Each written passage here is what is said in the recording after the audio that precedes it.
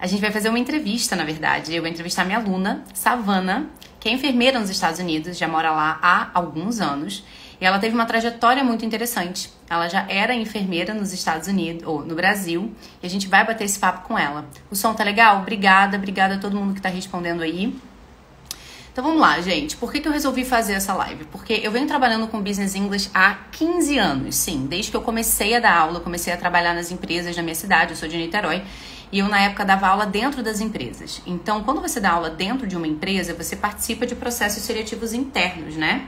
Então, nessa época, eu comecei a preparar profissionais para crescer dentro da própria empresa, para poder pleitear cargos mais altos. E é muito, muito, muito nítido como que a falta de preparo, a falta de treinamento faz com que a gente traga respostas ou exemplos que não são nada estratégicos. Então tem muita gente que chega até menina, eu preciso de ajuda porque eu tô mandando um monte de currículo e eu não tô tendo resposta. Ou eu tô fazendo um monte de entrevista e eu não tô tendo resposta. E muitas vezes a resposta tá na sua preparação. Como que você preparou o teu currículo para essa vaga? A gente já não vive mais numa época onde a gente pode ter um currículo e distribuir aí no LinkedIn e rezar que uma vaga de emprego caia do céu no nosso colo. Não é assim que funciona mais, né? Então, é, essa preparação faz toda a diferença. E esse é um dos assuntos que a gente vai tratar hoje, né? Eu vou trazer um exemplo clássico aqui, tá? Aquelas perguntas bem clichês de entrevista de emprego, tipo o seu ponto forte e o seu ponto fraco. Tem gente que acha que essa pergunta não acontece mais, né? Ah, hoje em dia ninguém pergunta mais qual é o seu ponto fraco, porque os recrutadores sabem que as pessoas vão trazer um monte de resposta, resposta clichê, né? Só que acontece o seguinte, gente, quando ela te pergunta, por exemplo, em quais pontos você tem que melhorar, essa é uma versão um pouco melhorada de qual é o teu ponto fraco, né? Qual é o teu ponto mais fraco, aquilo que você precisa ainda melhorar. E é muito importante a gente ter em mente que mentira tem perna curta. A proposta nunca é mentir, não dá certo mentir, tá? Agora, existem milhões de pontos fortes e existem vários pontos fracos, porque eu sei que você não é um alecrim dourado de um defeito só, não é mesmo? A gente tem mais de um. Então, na hora, quando a gente tem uma vaga em mente, quando a gente está pleiteando essa vaga e a gente tem aquele foco, a gente precisa selecionar os nossos exemplos e as nossas respostas de forma estratégica. Então não é mentira, é estratégia. Você tem alguns aspectos que você pode mencionar, por exemplo, nos seus pontos fortes. Tá, mas qual é o ponto forte mais relevante para essa vaga? Ah, eles perguntaram em que aspecto você pode é, melhorar. Beleza, existem alguns aspectos nos quais a gente pode melhorar. Qual que é o aspecto menos conectado a essa vaga? Porque se você está pleiteando, por exemplo, uma vaga, você trabalha, por exemplo, como a Savana, que é enfermeira, e você vai trabalhar num hospital que é, por exemplo, uma maternidade, você vai falar que o seu ponto fraco, por exemplo, é lidar com criança? Não vai entendeu? Então você precisa pensar e esse processo de preparação é um momento onde você senta para focar nisso. Caramba, qual é a vaga? Quais são as possíveis perguntas? Qual é, de toda a minha experiência profissional, o que, que é mais interessante? Quais são os exemplos que eu tenho que costurar para essa entrevista? O que, que o recrutador quer ouvir de mim para essa vaga? O que, que eu preciso dizer para ele entender que eu sou uma excelente candidata para essa vaga?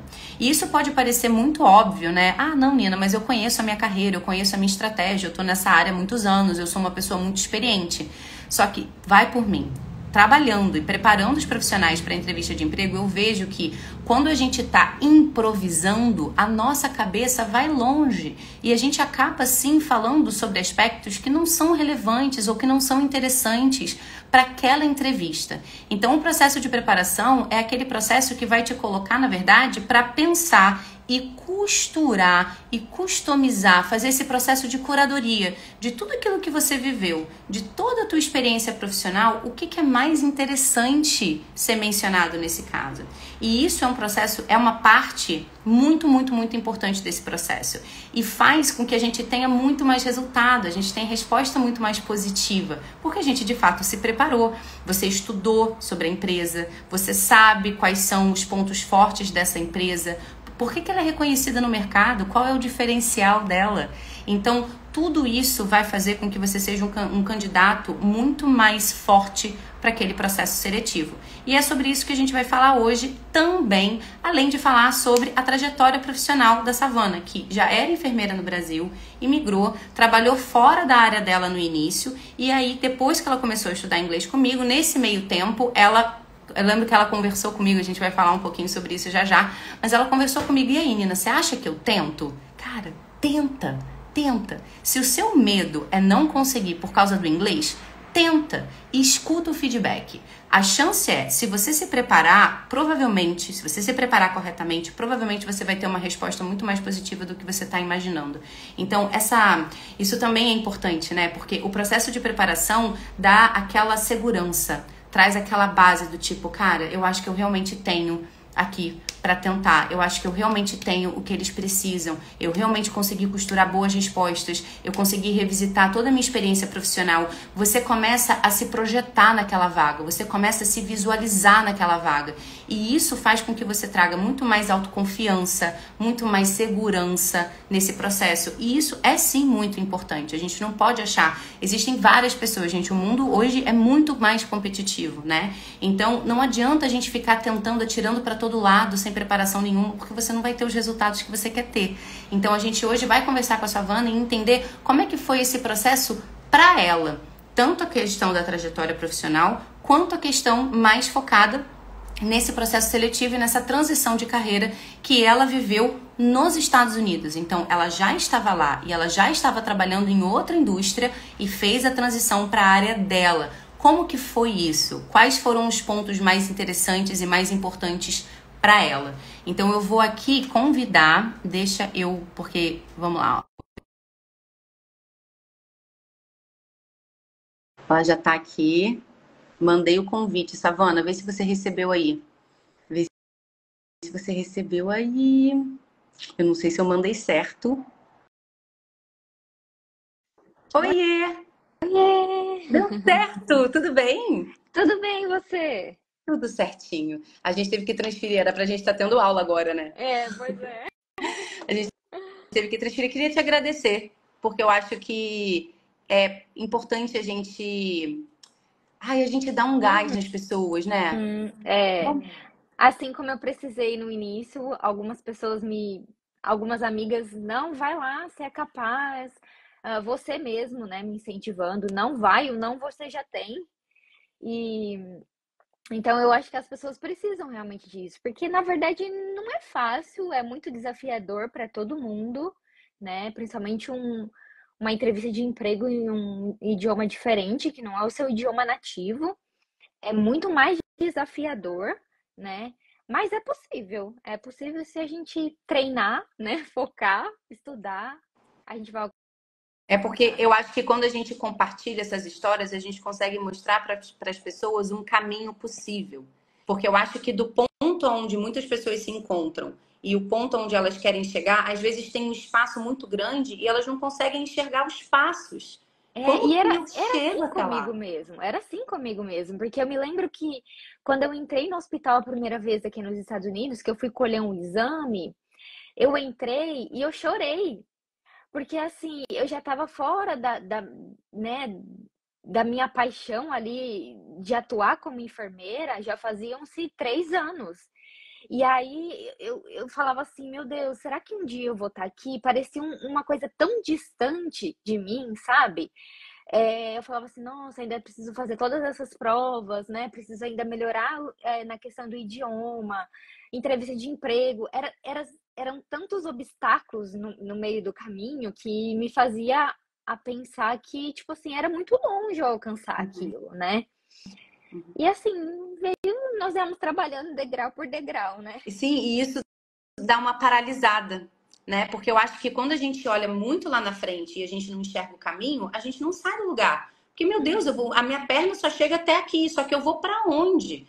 E eu acho que quando a gente consegue lay out the plan, né, que é colocar o plano na mesa e olhar, ah, olha só, dá para ser assim. Inclusive, eu tenho muitos alunos enfermeiros, né, e são trajetórias muito únicas. Não existe uhum. um caminho só. Não. Isso também é legal da gente falar. Eu tenho alunos que estão nos Estados Unidos que fizeram IELTS e eu tenho alunos que estão nos Estados Unidos que não fizeram IELTS. Uhum. Ah, meu Deus, é possível? É. E você não é a única. Eu tenho outras alunas também que migraram recentemente sem o IELTS e que estão trabalhando na área delas. Então, eu acho importante a gente compartilhar essas histórias para a gente encorajar as pessoas, dar uma certa coragem de, vamos embora, ó, isso é uma das possibilidades e isso vai trazer uma referência. É importante a gente ter representatividade, é importante a gente ter referência. De olhar e falar: caramba, ela conseguiu. Se ela conseguiu, por que, que eu também não posso tentar? Como é que foi a trajetória dela, né? Uhum. E eu queria começar pelo começo. Me fala um pouquinho sobre a sua formação no Brasil e a sua experiência no Brasil.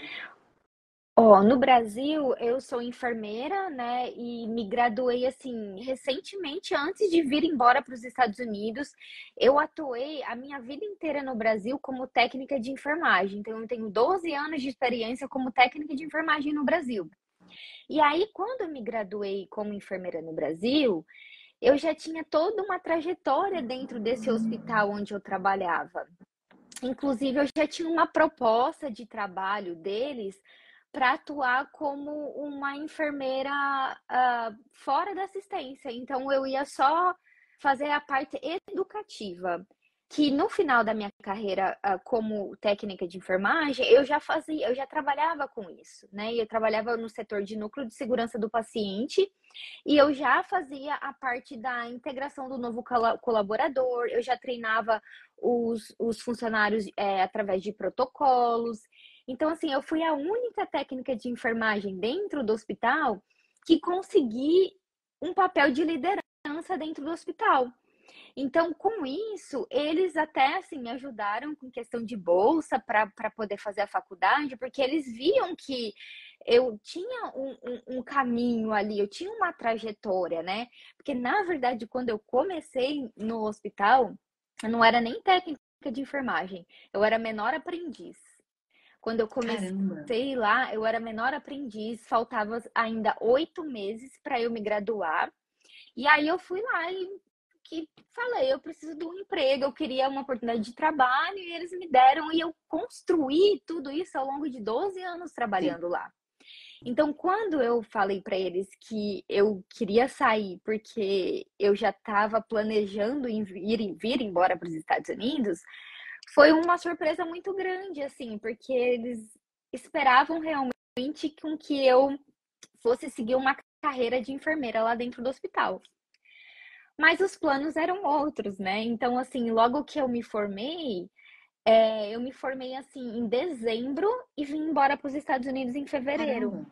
Então, é, então eu não cheguei a atuar é, como enfermeira no Brasil. Eu atuei a vida inteira como técnica, né? Mas eu já tinha uma bagagem, eu já tinha uma, um espírito assim, de liderança comigo. Eu sempre tive isso comigo, né?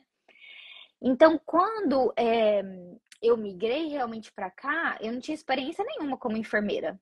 Eu era, eu, eu sou, é, minha experiência toda é como técnica de enfermagem, né? E quando, aliás, a, a, até quando eu fui aplicar para as vagas de trabalho, essa era, era a minha eu ficava, eu pensava assim, como que eu vou aplicar isso? Porque o técnico de enfermagem é um, uma uma profissão que não tem aqui nos Estados Unidos. Então, para eu explicar isso, era um pouco complicado, né? Uhum. Mas enfim, aí eu fui, é, né? A minha amiga falou para mim, não, você aplica e coloca toda a sua experiência como assim fosse bedside mesmo, porque é isso que eu faço Exato. aqui. Hoje eu, eu faço uma eu sou uma enfermeira bedside. Então, quem é bedside no Brasil é o técnico de enfermagem. Exato. A grande maioria do tempo é o, é o técnico de enfermagem. E aí, no dia da minha entrevista, ainda tive que explicar tudo isso. Porque né? não é que. Toda essa questão. Não existe o cargo, mas existe o trabalho, existe a demanda. Então, você Exato. tinha toda a experiência da demanda e do dia a dia, uhum. Mas aquele nomezinho não era exatamente igual, igual né? E por que, que você foi para os Estados Unidos? Nina, eu acho que com a grande maioria né, das pessoas que migram e de muitos enfermeiros aí que eu conheço e que migram foi por, por buscar uma oportunidade de, de vida né, melhor. é, de estudos, de trabalho, de estudos para o meu filho, de viver um novo, de viver algo assim diferente e melhor para mim, para minha família, né? E eu sabia que a, a única maneira com que, de, que eu pudesse migrar legalmente era através do, do meu diploma, era através né, de, de eu ser enfermeira. Então, o objetivo foi esse e o caminho foi esse pelo fato de que era o único caminho né, que eu poderia migrar da forma legal Exato. aqui. É, isso é uma coisa muito importante, né? O migrar de uma forma legal, Exato. porque existem várias portas de entrada e isso influencia muito na experiência que você vai ter no país. Exato. Né? Exatamente. É, eu, assim, eu, eu, eu observo que algumas pessoas é muito mais é, sofredor, outras menos, né? Então eu falo assim que o planejamento para migrar ele é essencial para o que vai vir como consequência, né? Uhum. É fácil, não é fácil, é super desafiador. Você já morou fora do seu país, você sabe o quanto é difícil. E muitas pessoas que estão aqui também sabem o quanto é desafiador. Mas, assim, eu acho que a gente tem que estar em busca realmente de conhecimento, do novo, do crescimento, né? De buscar melhorias, de buscar conhecimentos. Isso foi. Um, a família, minha família achou uma grande maluquice, né? Tudo isso. Mas era um desejo. E aí, meu esposo é, tá comigo, então não, eu tô com você. Fechou junto. É, se você quer, vamos. E Legal. foi isso. Foi... E como é que foi, assim, quais foram as suas primeiras impressões? Assim, você chegou já tem quatro anos, né? Você já tem uma trajetória aí. Sim, como é que esse... foi esse, essa chegada? Quais foram os primeiros choques? Porque quando eu imigrei, tanto para a Austrália, principalmente para a Espanha, porque na Austrália eu já falava inglês, na Espanha eu não falava. Eu sou menina, não sabia nada, nada. E eu ainda fui para um lugar que tinha um sotaque extremamente forte, então aquilo foi paralisante. Eu falei, meu Deus, o que, que eu estou fazendo aqui? O que, que eu fiz? Então, como é que foi para você essa primeira chegada, assim, esses primeiros choques? Foi muito desafiador. Porque, assim, eu, eu, eu migrei para o norte, né? Então, lá, assim, são muito mais americanos do que qualquer outra nacionalidade, né? Então, assim, tem imigrantes? Tem.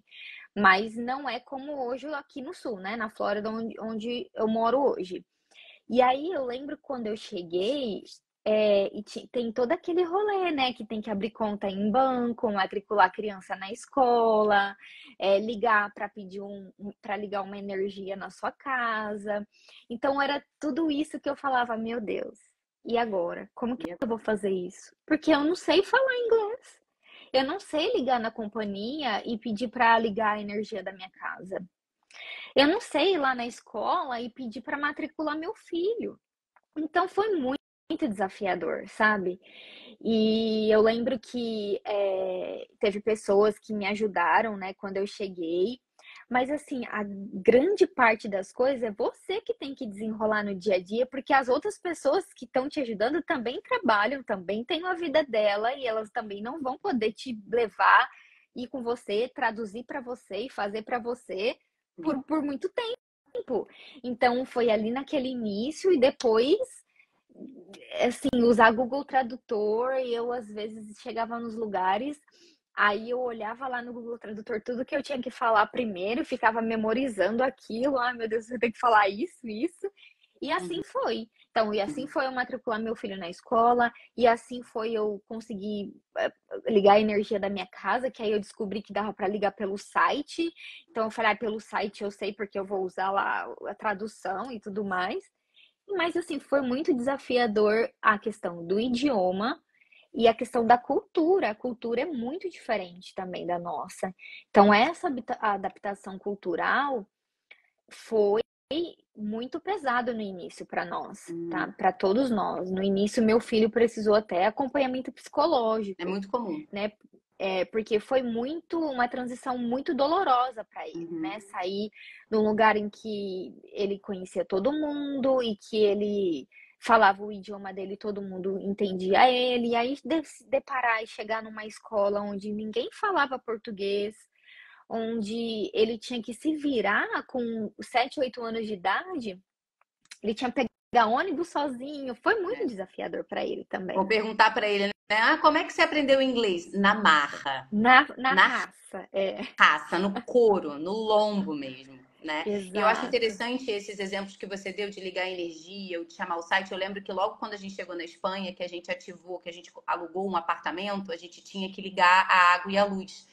E aí bateram na minha casa, porque no Brasil a gente está acostumado a ter só um provedor de energia e um provedor de água, né, uhum. na cidade. Só que lá não, você tem várias empresas de energia e várias empresas de água e você pode escolher da onde você vai comprar sua energia. E aí bateu um rapaz muito simpático, muito bem apessoado na porta da minha casa, perguntando se eu não queria que ele tinha uma proposta melhor para de conta de valores, ele tinha descontos e tal. E eu levei primeiro um tempo para entender do que, que ele estava falando, porque para a gente é completamente diferente. Como assim você, eu posso comprar energia de outra empresa uhum. e eles uhum. oferecendo é, descontos e tudo mais? A nossa sorte é que na época eu sublocava um quarto da casa e a gente morava com venezuelanos. Eu morava com uma venezuelana que virou minha amiga e depois minha aluna, inclusive a Anne.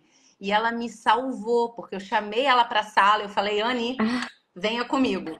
E isso é uma coisa interessante porque quando a gente tem do nosso lado alguém que fala mais o idioma do que a gente e a gente não é esperto, a gente acaba usando essa pessoa de bengala e isso atrapalha também o nosso processo de aquisição daquela linguagem. Porque você tem sempre alguém para mandar no seu lugar. Não é você que tem que ir para o tradutor, decorar texto, repetir várias vezes, checar, errar, tentar de novo. Então, isso é um processo muito importante, porque nessas horas, quando a gente está falando de hospital, matrícula de filho, energia, casa, isso é muito sério, uhum. gente. É uma coisa é. muito séria. Como é que eu não vou ter luz na minha casa? Como é que meu filho não está na escola? Não é uma bolsa que você está comprando. Uhum. Então, quando bate o nervosismo, é aquele nervosismo da urgência que quem nunca imigrou não sabe o que é. não.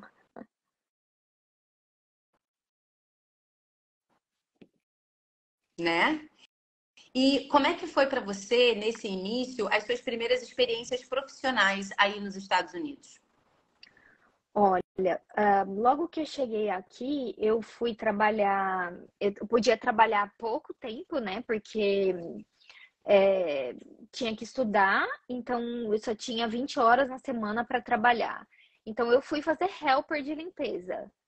Aí fui limpar a casa de americanos e foi muito desafiador, foi muito pesado para mim. É, fiquei ali por um tempo, foi meses. E aí, como meu inglês assim começou a ficar um pouquinho melhor, mas assim, eu ficava devorando as coisas, sabe? Tipo, estudando sozinha, porque também eu não tinha condições financeiras de pagar nada naquele momento. E aí é, me, a escola do meu filho me ofereceu um cursinho da high school, um cursinho da, da própria cidade, era um cursinho gratuito. E aí, esse cursinho era duas vezes na semana e presencial, eram quatro horas de aula. Aí eu falei pro meu esposo, eu falei, ah, eu vou, eu vou pegar esse cursinho, porque é gratuito e eu preciso desenvolver, porque, né, como que eu vou me comunicar? Porque eu me senti na obrigação de saber comunicar para comunicar para eles também. Porque eles migraram por uma vontade minha, não foi por uma uhum. vontade deles. Então eu fiquei com essa bagagem, entende? De eu ter que fazer tudo por eles uhum. também, né? Então foi assim. Aí eu uhum. fui para esse cursinho onde eu fui comecei a, desenvolver um pouco o inglês e tal.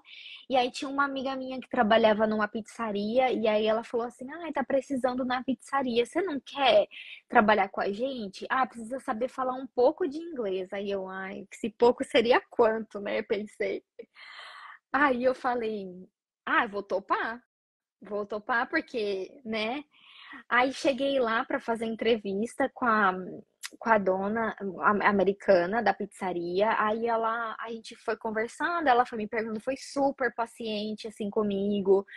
Foi conversando, inclusive trabalham outros brasileiros lá. Então ela já estava acostumada assim que a gente não, não falava muito bem, mas que o nosso trabalho era muito bom, entende? Uhum. Foi isso, isso que fazia com que ela pegasse os brasileiros assim para trabalhar. E aí ela falou assim: não, mas o seu inglês é bom, eu tô conseguindo me comunicar com você. Eu, ai, meu Deus, que alívio. Isso e aí um foi... recado para as pessoas, né, gente? Sejam gentis. É, sabe? Sejam vez, é, eu falei, olha, me desculpa, meu inglês ainda não é bom, mas eu tô estudando, eu tô me esforçando, se você me der uma oportunidade, eu posso é, melhorar e tal. E assim foi. E aí, lá na pizzaria, eu fiquei um bom tempo, eu fiquei mais de dois anos na, na pizzaria trabalhando, era um serviço que eu gostava demais. E no começo, para atender o telefone da pizzaria, era assim, muito desafiador. Quando o telefone, o telefone tocava, é um ó, telefone é um terror de difícil. Eu falava assim, gente, não, vai você, vai você. Tipo, eu não entendi o que as pessoas falavam. Uma porque eu não conhecia direito o menu da pizzaria ainda. Então eu não tinha todas as pizzas assim, decoro, os toppings das pizzas na minha cabeça, então eu falava, o cara falava um monte de coisa, eu não entendia 10% do que ele falava. E aí eu fui desenvolvendo também essa habilidade do telefone. Então, às vezes, quando tava assim, minha gerente, que era brasileira tal, ela falava: atende, se você não conseguir, me chama. Às vezes colocava no speaker. Então foi assim. Aí eu fui desenvolvendo essa habilidade também de conseguir atender o, o telefone. Porque os clientes no balcão eu já atendia. Porque quando você tá frente a frente com o cliente, é mais fácil, né? Às vezes até uma cardápio, um negócio ponta, faz, é... vai dar certo. Mas pelo telefone era um desafio imenso. Uhum. E aí foi, eu desenvolvi essa questão do listening, né, do telefone e tudo mais. Aí na pizzaria eu fiquei até eu vir embora quando eu passei em toda na prova para vir para cá, até uhum. eu vim embora para Flórida. Uhum. Eu lembro quando a gente começou a ter aula, uma das primeiras aulas que a gente teve tinha um exercício aonde a gente tinha que ouvir pequenos diálogos, aonde as pessoas tinham que falar o próprio nome soletrar, e aonde a gente tinha que ouvir preços hum. e números. E eu lembro de você falar isso. Nossa, se eu tivesse tido essa aula quando eu entrei na pizzaria. Porque é muito difícil. Quando eu fui morar na Austrália, eu já era professora de inglês há quatro anos. Eu dava aula já na cultura inglesa quando eu fui.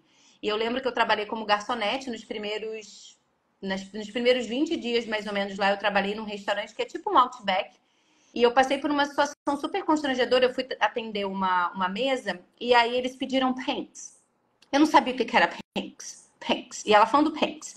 E ela olhou para mim e falou: Você não fala inglês, né? Chama alguém que fala. E eu já era professora de inglês há quatro anos. Eu não tinha entendido o que era paints. E aquilo me bateu de um jeito. Eu falei: Não, peraí. Chamei uma colega minha que era do Nepal que já estava lá há muitos anos, ela atendeu a mesa. Aí no final do expediente, o nome dela era Sara. Eu falei, Sara, senta aqui comigo. Lê essa porcaria desse cardápio para mim com o sotaque dessa gente. E aí eu fui entendendo as variações do sotaque. Quer ver uma coisa que eu também não entendia? É, na Austrália, eles chamam água de water. Water. Water. Só que o pedido, it's order. Só que eles falavam ora. E eu confundia water com hora. Hora, hora. Que na verdade então, é eu ficava, o cara falava hora. Eu não sabia se ele queria conta, se ele queria pedir, se ele queria água, entende? Então é realmente muito desafiador no início, porque é um volume de informação absurdo e você também tem um desafio de sotaque, uhum. de você não está habituado com aquilo, né? Então a gente tem Sim. que ter uma perseverança, uma resiliência muito grande, né? Muito, imensa. E assim, treinar, treinar demais, né? Porque assim, não vai achar que vai migrar e vai ouvir só o inglês americano, ou vai migrar, vai ouvir só o inglês britânico. Não vai, não vai. Inclusive no hospital que eu trabalho, o que mais tem são pessoas de outros países, né? Exato. Então, inclusive a minha uma das minhas manager entrevistadora, ela é russa. Então, no dia da entrevista, eu eram duas, uma americana e ela russa quando ela falava, eu falava, meu Deus, parecia que enrolava tudo. Então, inclusive, às vezes a outra tinha que repetir, reformular a, a pergunta dela. E aí eu, ah, tá, entendia. Porque assim, é um sotaque muito forte, muito acentuado, né? Então você fica perdida realmente. Uhum, uhum. E quando você começou, já depois dessa sua experiência na pizzaria, você já tinha o inglês melhor e tal?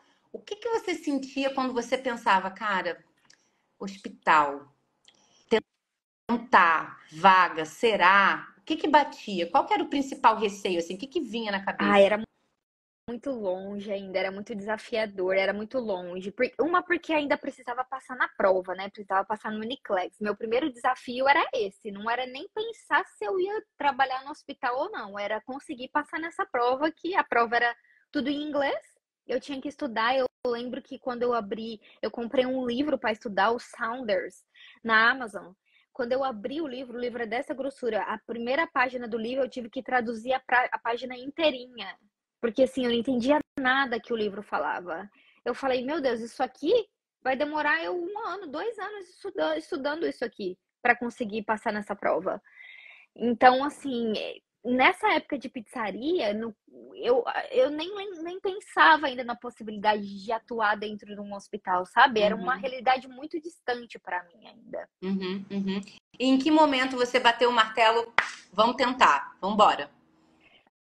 Ah, quando eu mudei, quando eu saí da pizzaria, quando eu mudei realmente, passei na prova do Uniclass lá, estudei e tudo mais, passei. Quando eu mudei, que eu cheguei aqui, aí meu subconsciente ficou assim: ah, eu vou procurar um outro trabalho. Aí eu apliquei para outros trabalhos, tipo trabalhar no, no, no no Starbucks, trabalhar na Disney, trabalhar não sei o quê. Eu fui aplicando em todas as vagas. Eu falei, se alguém me chamar, eu vou fazer entrevista e vou. Só que eu já eu já tinha licença, eu já podia trabalhar no hospital, só que para mim era muito distante isso. Então eu ia procurar outros meios. Uhum. Ah, eu ficava assim, ah, eu vou primeiro trabalhar em tal lugar porque eu vou melhorar um pouco mais meu inglês. Aí se eu melhorar, vou ter mais tempo de estudar e tal, aí depois eu vou pro hospital, né? E o meu esposo, assim, falava assim para mim: não, você tem que tentar, eu acho que você é capaz, você tem que tentar, né, é, aplicar numa, num hospital. Porque se você aplicar e não passar na entrevista, você vai ver onde você precisa melhorar e vão ter outras oportunidades de você aplicar uhum. e tudo mais. Então, assim, quem me, me, me, acendeu essa, essa chama, assim, foi meu esposo, porque ele falava assim: não, não, você é capaz. Não tem que ficar aplicando para outra vaga. Uhum. Mas no meu subconsciente, eu queria sair disso, entendeu? Era muito pesado para mim. Eu uhum. queria procurar outras coisas que eram mais fáceis, porque é da nossa da natureza. Nós somos medo. assim. Dá né? medo. Nós somos certeza. de querer ir para outros caminhos que são mais fáceis, né? Uhum. Uhum. Eu lembro quando você me mandou mensagem, você falou: Ah, eu tô pensando, o que, que você acha? Você acha que eu tenho inglês suficiente? Eu falei: Tem, para tentar tem, porque assim, a gente também tem que levar em consideração o seguinte: se bastasse o inglês, eles contratavam qualquer americano passando na calçada.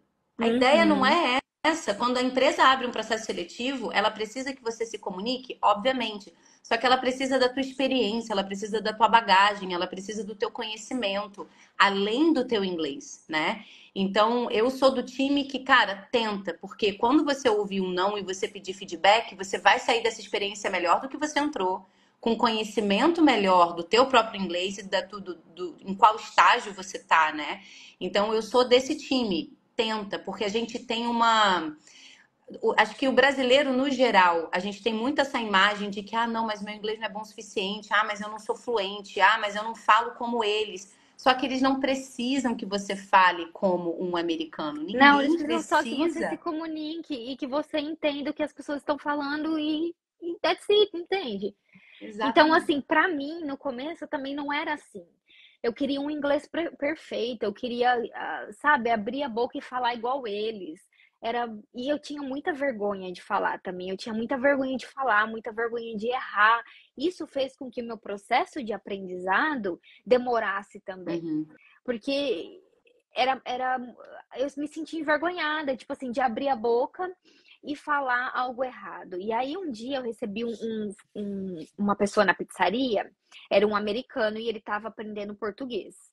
E aí ele falou assim para mim: é, você não tem que ter medo de falar e de errar. Porque esse não é seu primeiro idioma. Ele falou em português, conversando comigo.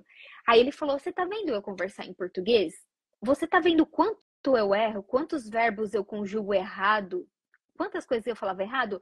Só que eu só prestei atenção nele fala, falando errado porque ele falou para mim que ele estava falando errado. Porque para mim a conversa tava fluindo e eu tava gostando e tava tudo bem, entende? Aí ele falou: então tá vendo que todos esses erros que eu cometo, porque assim, esse não é o meu, meu idioma nativo. Então você não tem que ter medo em, em falar inglês, porque eu expus isso para ele. Eu falei: olha, eu, né, desafiador, porque é, eu tenho muita vergonha de falar, eu tenho muito medo de errar. Então, aí, daquele dia em diante que ele falou isso para mim, eu falei, ah, eu, eu vou falar. Exato. Seja o que Deus quiser, eu vou falar. Então, assim, aí eu procurei, tinha muito medo de ir nos lugares e tal, e, e falar, e pedir alguma coisa no restaurante e tá errado.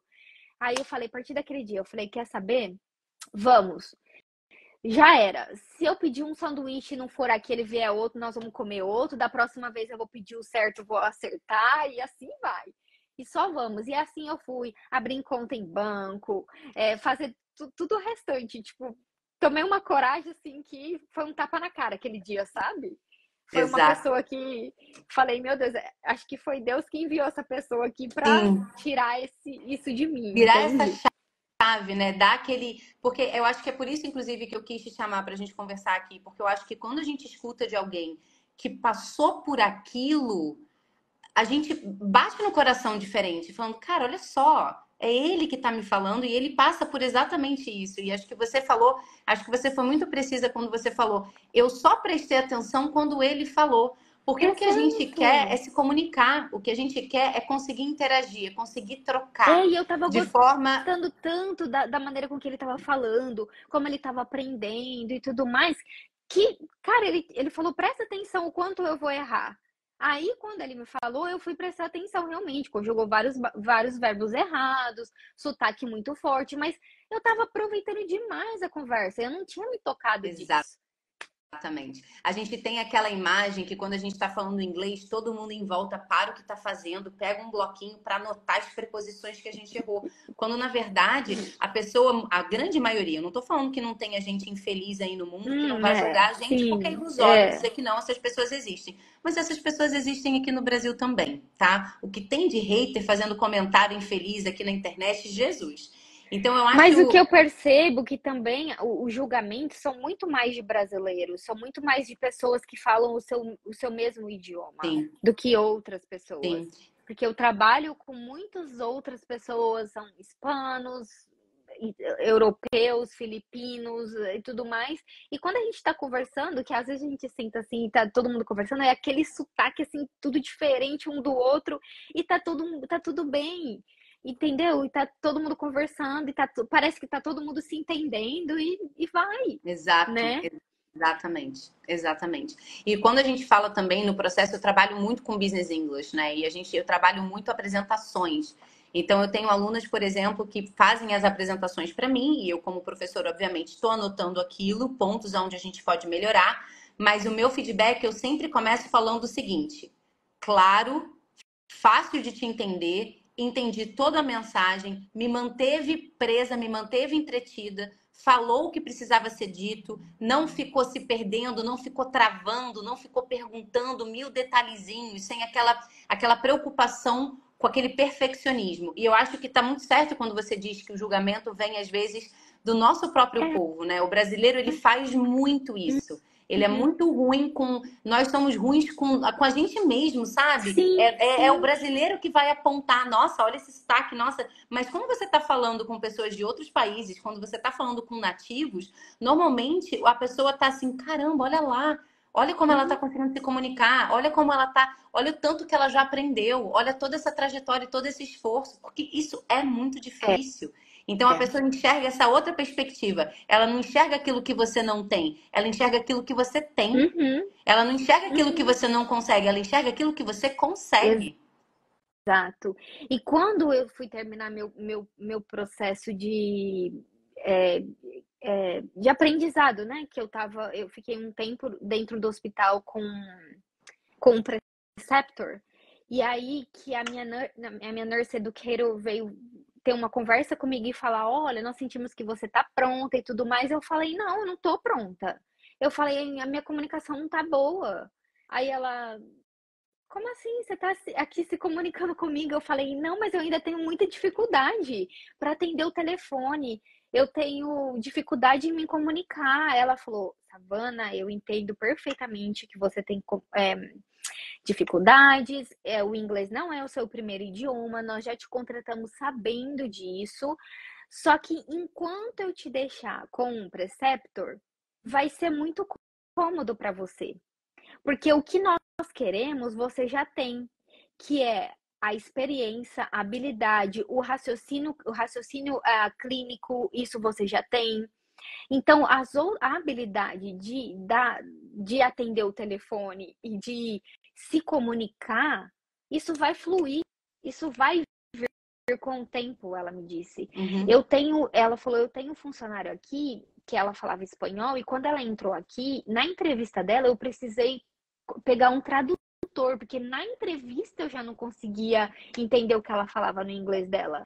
E hoje ela fala inglês fluentemente aqui. E fala muito bem e atende os pacientes e tudo mais.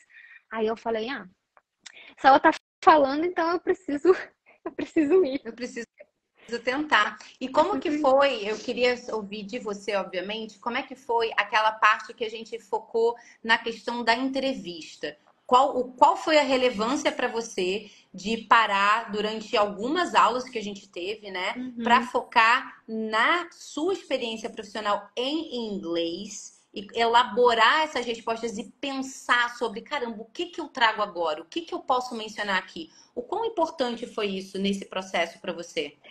É, foi assim, a preparação realmente para a entrevista é eu, eu fazia parte de alguns grupos, né, de enfermeiros, e lá todo mundo colocava suas experiências, assim, de, de entrevista. Então, vinham, assim, perguntas, possíveis perguntas que, enfer... que já, pessoas que já tinham passado pela entrevista já tinham feito, já tinham passado. Procurei na internet qual eram as mais é, perguntas feitas, né, numa entrevista para enfermeiro. Vi vários vídeos no YouTube de enfermeiros falando, enfermeiros americanos, né? De como era a questão das entrevistas e tudo mais. E aí eu fui selecionando, selecionei lá, sei lá, acho que tinha umas 15 questões. Fui selecionando e respondi todas essas questões e imprimi tudo. Imprimi e ficava me, me, me, me entrevistando, na verdade. E aí a gente treinou, né, algum, em algumas aulas. E eu mesmo ficava com aquele papel. Eu ia na academia, eu tava com aquele papel. Eu, em todo lugar eu tava com aquele papel. Quando não era no celular, assim. E aí, nas, foi assim, acho que foi umas duas semanas, três semanas, assim, treinando. Aí, na minha última semana, eu, eu criei um grupo no WhatsApp e eu mesma falava as minhas respostas lá no WhatsApp, para saber, tipo assim, onde eu precisava melhorar, onde eu precisava, tipo, podia ser mais fluido a conversa e tudo mais. E assim foi. Então, foi dessa forma que eu me preparei, sabe? Foi realmente quase decorando as, as, as respostas. E então decorando então... boas respostas, porque você não estava. Isso é uma coisa muito importante que é eu estava falando né, na abertura da live. Gente, a entrevista de emprego é importante demais para você improvisar. Não é momento de você improvisar, chegar lá, ah, não, eu vou, eu vou falar o que vier na cabeça. Não. Uhum. Eu lembro de uma questão, inclusive, que a gente trabalhou em aula, que era a questão do em que ponto você pode melhorar, ou qual seria o seu ponto fraco, lembra? Exato. Falou, cara, a gente tem que ser muito estratégico nessa hora. Eu é. sempre falo, vou repetir aqui rapidinho, que é, gente, vai falar de um ponto fraco? Ponto número um, fala dele no passado, isso é psicológico. Quando a gente fala no passado, a gente traz um distanciamento. Escolhe um problema, um defeito, um, um, uma weakness, né? uma fraqueza que não seja diretamente relacionada à vaga. Então, lembra, eu acho que você trouxe alguma coisa relacionada a estresse ou ou, é. ou, eu não sei, alguma coisa é. do ambiente. Aí você falou, não, isso aí é clichê, isso aí todo mundo fala. Vamos arrumar outra coisa. Outra coisa, não dá pra você aí falar, nós, não, nós... eu não sei dizer não ou eu sou perfeccionista. Não, vamos pensar em outra coisa. É. Outro ponto que pode ser. Eu lembro que a gente falou, inclusive, acho que se não me engano, a gente falou de criança. É. né? Falamos de pediatria, porque na verdade é um ponto fraco mesmo, meu. Só que eu não tinha pensado nisso, porque como eu nunca trabalhei com pediatria e nunca precisei trabalhar, então, tipo assim, eu não tinha noção de que, ah, eu podia citar isso, porque na verdade a vaga que eu tava aplicando também não tinha nada a ver com pediatria. Exato. Aí, é, e aí foi isso que nós colocamos, realmente. E foi é, isso que... E eu acho que isso são coisas que às vezes a gente não para pra pensar, porque assim, eu sei que agora, aqui, quando a gente tá falando, talvez as pessoas que estão ouvindo a gente falando, ah, Obviamente, eu não vou falar algo relacionado à vaga. Mas na entrevista de emprego, se você não se preparou, ponto número um, você está improvisando. Você não se preparou. É, e você ponto número nervosa. dois, você está nervoso. Uhum, exato. O grau de estresse está muito elevado. Você tem hora que você não sabe, as coisas fogem da mente da gente. Exato. A Fernanda colocou aqui, ó. A Fernanda Félix colocou aqui, ó. Até mesmo na língua materna. Amiga, Exatamente. Até mesmo por português. É, até mesmo em português, né? Eu lembro que na minha entrevista, na minha primeira entrevista como enfermeira no Brasil, ele me perguntou assim se eu era uma líder. Aí eu, tipo assim, como assim? Se eu me sentia com, tipo assim, espírito de liderança, porque é o que ele queria para a equipe dele. Ele queria uma pessoa que liderasse. E eu fiquei assim meio sem chão. Sou ou não sou uma líder? Fiquei meio é. pensando, né? Como que é? Entende? Então, assim, até realmente na língua materna da gente, a gente se sente desafiado, se sente desafiado para responder as coisas, né? Principalmente num, num, numa língua que a gente não domina, né? A gente está treinando e estudando para conseguir desenvolver, né?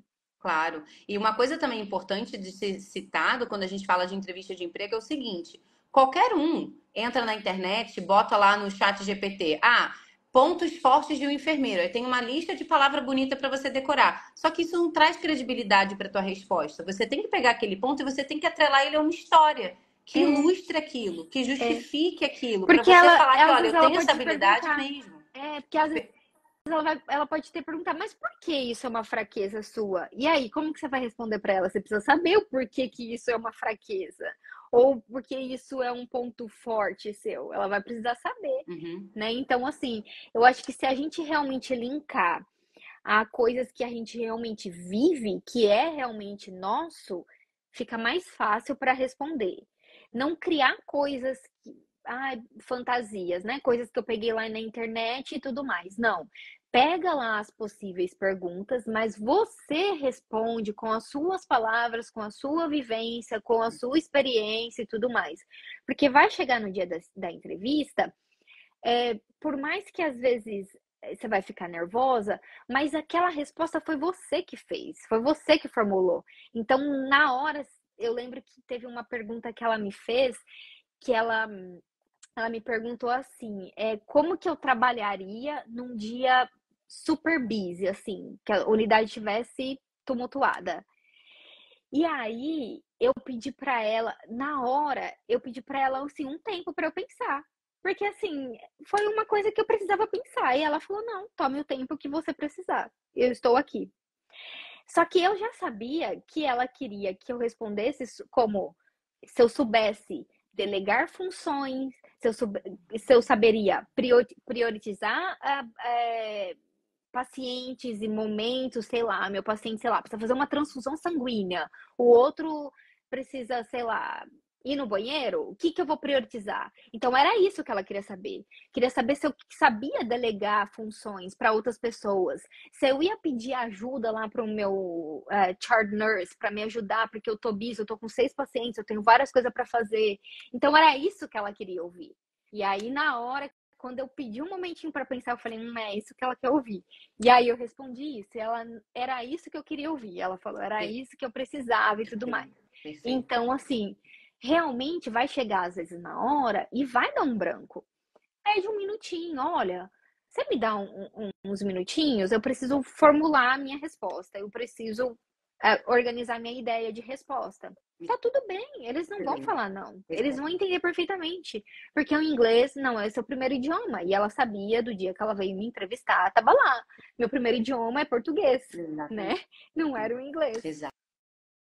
Exato. E eu acho que quando a gente pede isso, acho que às vezes as pessoas ficam com um certo receio do tipo, ah, mas eu vou parar para pensar, o que que eles vão achar se eu pedir isso? Eles vão achar que você é um profissional cuidadoso Eles vão achar que você está levando aquela entrevista a sério. Exato. Eles vão achar que você quer realmente dar a melhor resposta, a mais completa e a mais honesta. Sim, então o processo de preparação, o processo de preparação para uma entrevista não é um processo de preparação de respostas fictícias, aonde você vai falar o que o recrutador quer ouvir. Não.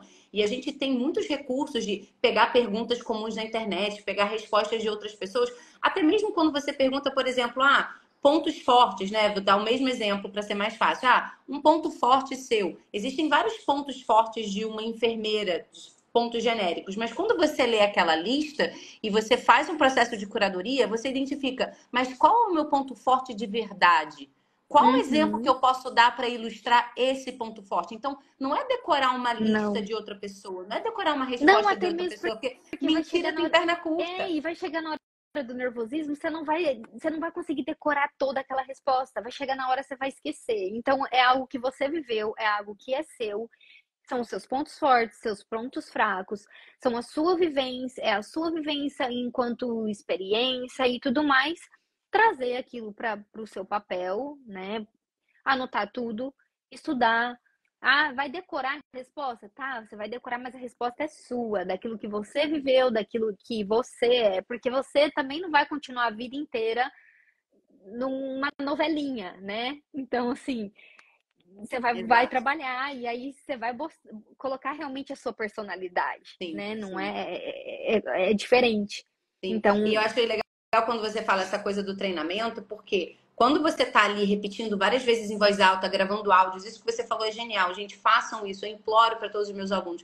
Tenha um grupo no WhatsApp só com você, para que você possa gravar áudios e você possa se ouvir. Você aprende muito se ouvindo. Você detecta muitos pontos. Só que quando você treinou as suas respostas, você não vai chegar lá e lembrar de todas as palavras que você digitou. Mas você treinou aquela linha de raciocínio, é. você treinou aquele exemplo, ele tá ali. Então, com todo o nervosismo na hora de errar uma coisa que outra, aquela história já tá na sua cabeça. Você já sabe, bom, eu vou falar que o meu ponto forte é esse, eu vou dar esse exemplo. Ah, uhum. me fala um momento onde você trabalhou em equipe. O exemplo já tá lá. Você pode não lembrar exatamente de todas as palavras que você treinou, mas você já sabe qual é um bom exemplo da tua experiência para ilustrar a tua capacidade de trabalhar em equipe. E isso faz com que você vá mais seguro. Você vai ficar nervoso, gente, eu não vou mentir. Você uh -uh. fica muito nervoso, você sua frio, não dorme na noite Nossa. anterior. É, é um dia foi eu não almocei, eu não bebi, eu não comi. Ai, fiquei muito nervosa. Mas aí eu falava assim, ah, eu preciso me manter, tipo assim, mais calma possível, né? Porque a pessoa vai me entrevistar, vai ver que eu tô aqui tremendo na frente das Sim. câmeras. Ela vai falar, imagina essa coitada aí com um paciente numa emergência, Sim. né? E tudo mais. Numa uhum. entrevista, ela e já tá. Você ter a resposta, porque assim, a pessoa te fez uma pergunta. Você não vai lembrar daquele script, obviamente, palavra por palavra, mas quando você tem a resposta e você começa, isso passa muito mais segurança, isso passa mais credibilidade. Ela sabe do que ela está falando. Ela está aqui elaborando, não importa se ela está errando preposição ou não está, mas ela tem uma resposta, ela tem a experiência, está na ponta da língua. Eu pergunto, ela responde. Eu pergunto, ela responde. Isso traz um, isso passa uma credibilidade, uma segurança e um profissionalismo muito maior numa entrevista do que você ficar é, é, ah, uhum. não você uhum. se preparou, você uhum. sabe o que você vai falar. Quando vocês perguntam, ah, é, tell me about yourself, né? Me fala sobre você. Gente, isso é uma pergunta muito vaga. Eu sou canceriana, eu tenho três cachorros. Isso é sobre uhum. mim.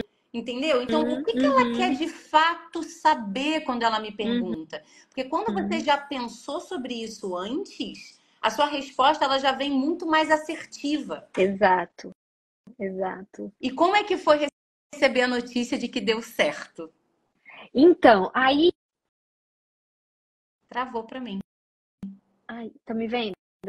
Tô, tá me voltou, vendo agora? Voltou. Ah, okay. Então, aí essa foi a minha primeira entrevista e eu tinha mais duas entrevistas agendadas depois dessa, porque eu falei, já, se não der certo, eu já tenho duas no gatilho também. E aí foi minha primeira entrevista, foi de manhã, eu lembro que foi numa sexta-feira de manhã. E aí eu peguei, terminei a entrevista, demorou assim cerca de uns 30, 40 minutos, não, não foi muito longa, foi super objetiva. Ela me fez assim umas seis perguntas e pronto. E aí eu tava tão estressada, tão estressada, e meu esposo falou assim: vamos lavar os carros? Aí eu falei, vamos lavar os carros, que aí eu vou me estressar, é, descansar, minha cabeça tava assim, doendo e, e tudo mais. E eu peguei, deixei meu celular. Eu tinha pego o celular, eu deixei o celular e não mexi mais no celular. Quando foi umas quatro horas da tarde, eu fui pegar meu celular de volta, tinha uma ligação da Recruiter. Aí eu falei, Rafael, a mulher me ligou.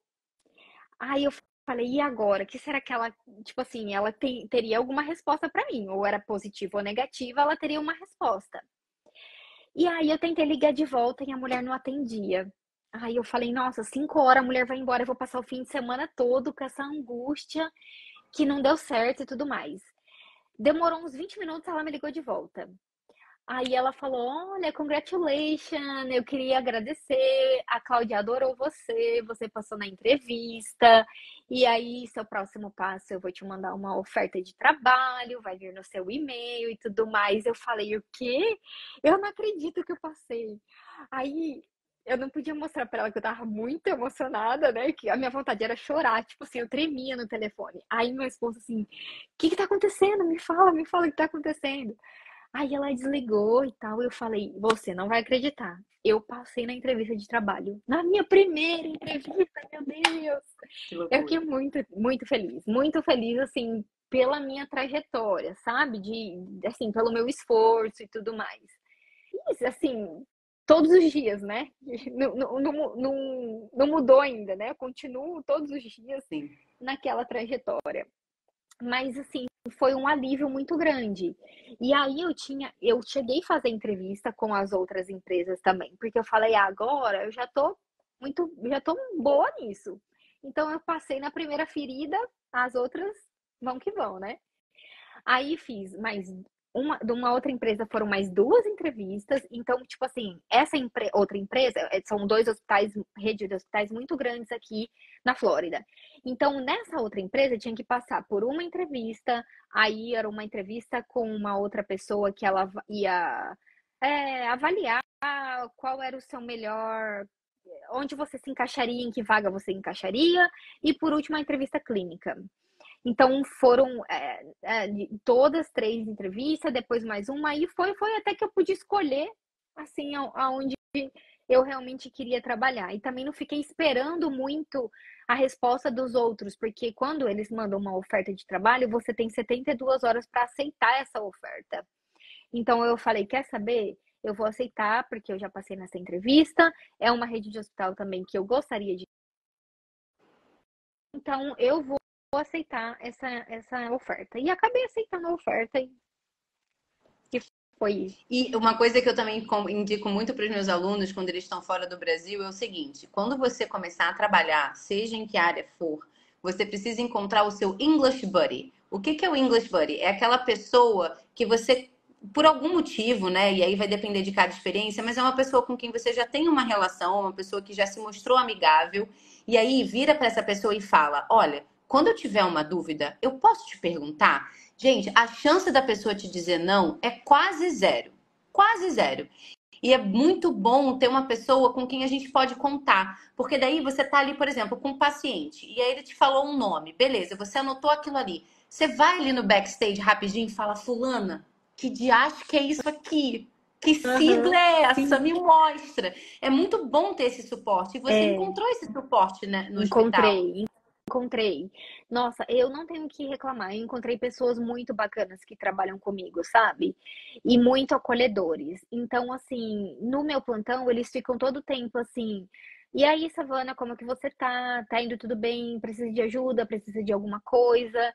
Então, assim, encontrei realmente algumas pessoas que me ajudam demais, que eu tiro dúvidas, eu eu não sei o que é isso. Esses dias eu falei assim, eu não sei que doença que é essa aqui. Me ajuda que ela falou, eu também não sei, também não conheço, vamos aprender junto. Uhum. Abrimos lá o Google e fomos pesquisar, pesquisar junto o que era aquilo.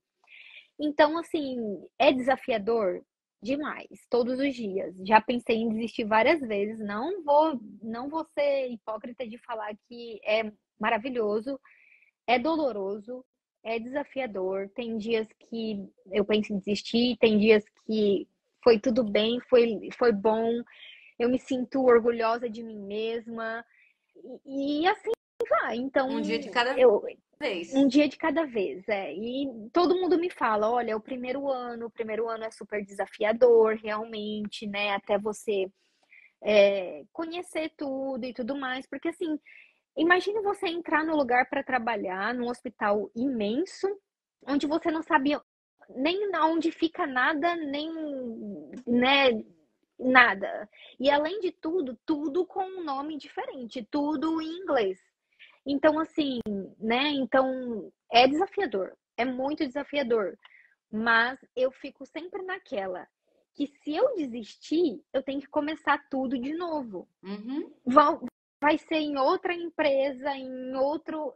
Vai ter que recomeçar. Uhum. Então eu já comecei. Uhum. Então só uhum. vai. Eu fico... E assim, você acha que antes, você acha que trabalhar para Disney não ia ser desafiador? Você acha que é. trabalhar em qualquer outro lugar é desafiador? É, você chegou lá é. na pizzaria, o telefone. Então, assim, esses, a gente precisa. Eu acho muito legal essa honestidade, porque as pessoas às vezes têm essa coisa ilusória do tipo, ah, eu imigrei e aí tá tudo certo. Hum, ah, não, eu consegui entrar na minha área, ah, então agora tá tudo certo, agora eu tô com a vida ganha. Não, não. gente, é todo dia um leão. Todo então, dia é, um leão. Exato. E o que eu fico mais assim triste às vezes é de ver muitos enfermeiros que postam nas redes sociais assim tudo que é lindo, tudo que é maravilhoso. E muitas pessoas vêm para cá achando que realmente é tudo muito belo. E não é. Pelo contrário, é desafiador e tem muitos dias que você vai falar: o que eu estou fazendo aqui? Será que eu estou no caminho certo? eu, eu desisto ou não desisto, entende? É, é desafiador, é cansativo, é, porque ser enfermeiro aqui é muito é, assim, diferente de ser enfermeiro no Brasil, né? A gente todo tempo tem que ter um raciocínio muito, muito clínico com os pacientes. Então, assim, você tem que todo dia ler é, os exames do seu paciente, saber se ele precisa de uma reposição de potássio, saber se ele precisa de uma reposição de magnésio. É você que faz tudo isso. Então, assim, é muita responsabilidade. Chega no final do plantão, além do cansaço físico, que são 12 horas e meia trabalhando de pé, sem sentar, é o cansaço mental também. De você ter que é, ter todo esse raciocínio clínico em inglês diferente e além de tudo, agora, eles estão me colocando também com os pacientes que falam espanhol. Por quê? Eu me desenvolvo um pouco no espanhol, entende? Então agora ficou assim. Então tem dia que eu tenho três pacientes que falam espanhol, três pacientes que falam inglês. Então chega no final do plano, um filipino, assim, falando um e um tcheco, Não, né? Tô falando só pastilha aqui, toma só pastilha pro, pro americano, entende? Já tá meio bugado no final. Uhum. Mas assim, pra eu você vê, quem diria que ser brasileira ia ser o grande diferencial? Porque de todas as enfermeiras que eles têm ali, você era melhor para atender esse público, porque a tua língua materna é mais próxima da Exato. deles. E a gente com uma baita de uma insegurança, será que eu tento, será que eu não tento? E você foi quem eles escolheram para atender essas pessoas, porque você é a mais capacitada para é. conseguir se comunicar com eles. Exato. E eu sou a única brasileira do meu setor. Não tem outra brasileira, eu sou a única brasileira de lá. Então, quando tem pacientes que falam português, sou eu. Quando tem pacientes que falam espanhol, muitas vezes eles me colocam nesses, com esses pacientes. Então, assim, esses dias até achei bem fofinho um paciente falou assim para mim: Ah, de onde você? Porque assim, eu me esforço em falar o espanhol com eles. Porque é um momento que eles estão ali, é, é difícil, é, né? Estão um momento, passando por um momento delicado. E eu me esforço realmente em falar o espanhol. Não é perfeito? Não, mas eles me entendem. Eles que é, que, é o que é o importante, né? Sim. E aí ele falou assim para mim: "Da onde você é?" Aí eu falei: "Ah, eu sou brasileira". Aí ele falou: "No Brasil fala espanhol?" Aí eu falei: "Não, no Brasil nós falamos português". Aí ele falou: "Menina, mas seu espanhol é muito bom". Aí eu falei: "Ah, eu ganhei meu dia. Obrigada". Isso. E também tem essa questão do você você se aventurar e você se permitir arriscar no inglês e você se aventurar e se permitir arriscar no, no espanhol também. Espanhol, é. Exato. E às vezes eu quero explicar alguma coisa para o meu paciente que fala um espanhol e que eu não sei aquela palavra, eu vou lá no Google, no Google Tradutor e pesquiso lá como que eu vou falar aquilo para o meu paciente. E vou lá falar o, o espanhol, o meu espanhol com ele, sabe? Então, assim, eu não, não eu vejo que muitos enfermeiros americanos e ou que falam só o, o idioma nativo deles não se esforçam nem um pouco. Para eles é muito mais cômodo pegar um tablet e colocar lá no tradutor e aí, mas eu não acho isso humanizado e eu gosto muito dessa questão humanizada. Eu sou muito isso, entende? Então eu me esforço realmente para falar lá o meu portunhol, o que for, e eles entenderam momento tão delicado, tão vulnerável, você sentir que você está do lado de alguém que se importa, faz muita diferença, né? Exato. Quem já teve do lado do paciente, quem já teve na maca, sabe a sensação de amparo que você sente quando você fala, não, essa pessoa ela tá comigo. Hum. Essa pessoa tá me olhando hum. no olho e ela tá me ouvindo e ela tá me entendendo e a gente está trocando aqui de verdade. Não é uma tela de computador, não é um tablet, não, não é um Google é... Que está falando comigo. Exatamente, exatamente. Aí, essa semana passada, me colocaram um paciente que fala criolo. Aí eu falei, eita, aí já estão querendo demais.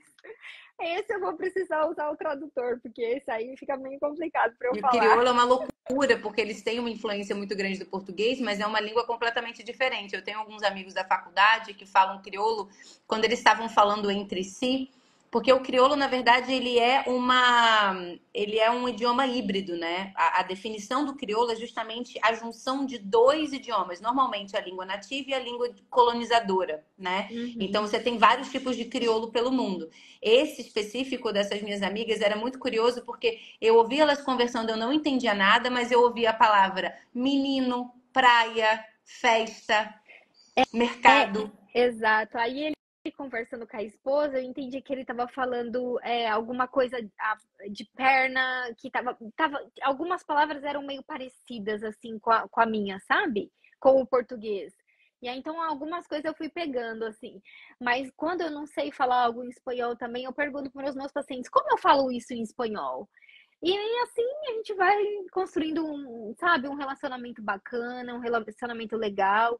No começo foi é ainda, né, até hoje, muito desafiador a questão é, de ter que explicar todo o procedimento para o meu paciente, é, todos os medicamentos que ele vai tomar, tudo aquilo em inglês e tudo mais.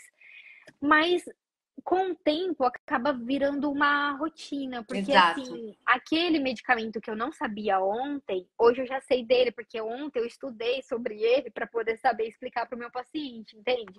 Pouco então, cada dia é, é uma construção, assim, tijolinho por, por tijolinho, realmente. Exato.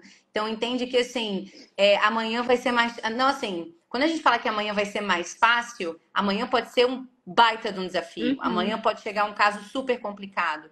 Mas você está cada vez mais preparado. Você está colocando um pé atrás, um pé na frente do outro, e você está caminhando, e você está tentando. E eu acho, olha, a gente recebeu algumas mensagens aqui que eu achei muito legal. Ó. A Aninha falou assim, ó, Savana, bonita que me deu um empurrão e colocou minhas ideias no lugar quando eu não passei na primeira tentativa do Eniclex e me ajudou sim. a reprogramar meu cronograma e o PES veio. É. Muito legal. Aninha, ela é uma fofa. Muito legal. Ela também falou, né, brasileira, né? Adoramos o cuidado humanizado. Isso é sim. essencial, gente. É, eu passei por é uma isso, cirurgia é isso e que a gente se destaca. É realmente nesse ponto que a gente se destaca. Sim, eu lembro quando eu, eu tive só uma experiência, né? Eu fiz uma cirurgia quatro anos atrás e logo depois, na primeira vez que a enfermeira veio para trocar, eu fui atendida por uma enfermeira e depois eu fui atendida por outra todas as vezes, né? Essa foi uma vez só. E aí ela, eu tinha feito uma cirurgia no meu estômago. Então eu tava com esparadrapo na barriga e ela puxou o esparadrapo. E eu contraí a barriga com ponto, eu senti muita dor. E aí, logo a segunda enfermeira, quando veio me atender, eu tava com muito medo dela trocar o curativo, porque tinha doído muito. E aí uhum. eu contei para ela, aí ela virou e falou assim: nem me fala o nome, que eu prefiro nem saber quem foi. Porque ela chegou com uma gaze, ela umedeceu todo o esparadrapo. Ela foi de Sim. pouquinho em pouquinho. Aí eu assim, eu chorava, porque eu tinha sentido tanta dor antes e eu tava tão assustada com aquilo que ver o cuidado é, é emocionante, assim, é, é, uma coisa é. que te toca muito, porque a pessoa ela tá ali, ela tá sentindo com você o cuidado, né? O, o, o estar presente e você querer de fato acalentar aquela pessoa, você querer de fato fazer com que ela, ela, ela melhore, ela cure. É um processo muito especial. A profissão de vocês é muito é. especial. É, e assim, isso alimenta a, a gente, sabe? É, embora seja muito desafiador para nós, brasileiros migrantes, é, a semana passada eu fiquei com os pacientes e como eu tive plantões consecutivos, eu fiquei três dias com os mesmos pacientes.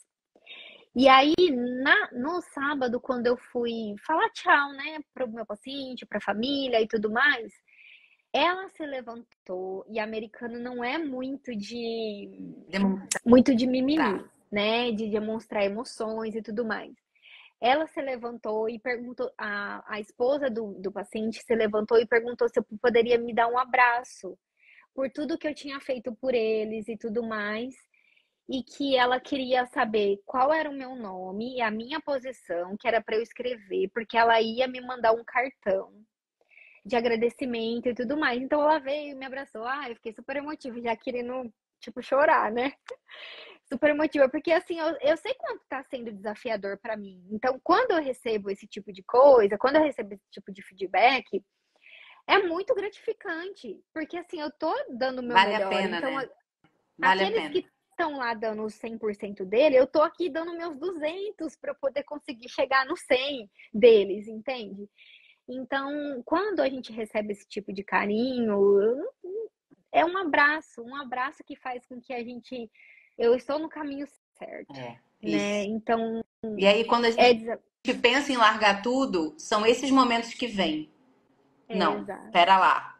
Como assim? Não. É. Vamos lá, vamos continuar. E o que eu acho legal e eu acho muito bom, assim, não posso falar de outros lugares, mas assim, aonde eu tô, eles são muito de elogiar os meus, uh, os meus companheiros de trabalho, meu, meu, minha chart nurse e o que for, eles são muito de elogiar você tá indo muito bem, é isso mesmo, sabe? É, não, Savana, tá, tá ótimo, você tá muito bem, você tá fazendo um bom trabalho.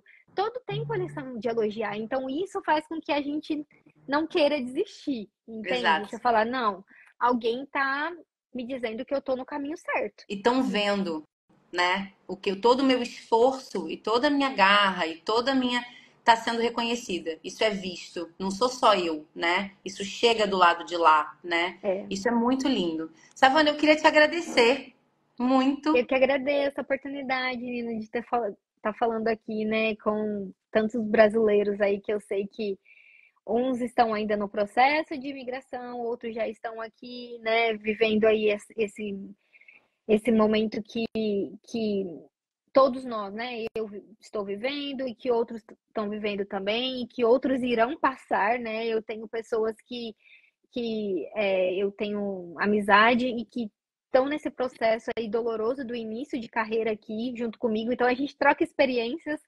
Às vezes uma liga para outra, fala: "Ai, meu Deus, hoje meu plantão foi daquele jeito". A outra: "Ah, o meu foi um pouco melhor". E assim a gente vai, né, trocando figurinhas. Se apoiando, e... né? A se gente apoiando. vai se ajudando, se dando a mão. Isso faz tanta diferença. Exato. Aí eu tenho até uma amiga que eu falo, ai, lá, eu tô pensando em, sei lá, fazer um mestrado. Eu falei, se for, me dá a mão que eu vou também, a gente vai junto e, e assim vai. Então, é uma ajudando a outra. Eu acho que a rede de apoio, assim, é bem legal. É, existe muitos brasileiros é, aqui, né? Principalmente na Flórida. Então, assim, a gente eu conheci bastante pessoas bacanas e ficaram algumas amizades, algumas coisas que a gente pode trocar experiências, trocar figurinhas sobre isso. Isso é bom, isso, isso é faz bom.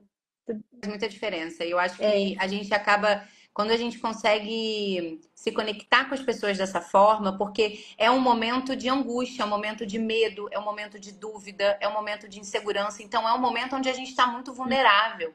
Então, uhum. encontrar alguém que fala: não, pera lá, Vamos se preparar? Vamos organizar suas ideias? Não, dá certo sim. Ó, dá para ser assim. Vamos fazer junto. Encontrar essas pessoas que chegam junto, que dão a mão Exatamente. e vamos. Isso dá um gás, isso dá uma força que muda a vida das pessoas.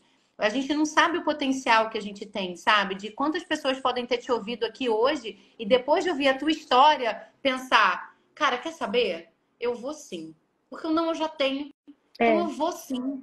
Então, às vezes, é isso que falta. Quando a gente acha que, ah, não, mas não, não gente, faz diferença claro. sim. E toda vez que a gente pensa assim, ah, não, mas alguém vai. Não, não, não, ninguém vai, é a gente que vai. É, é a gente que fala, é a gente que troca.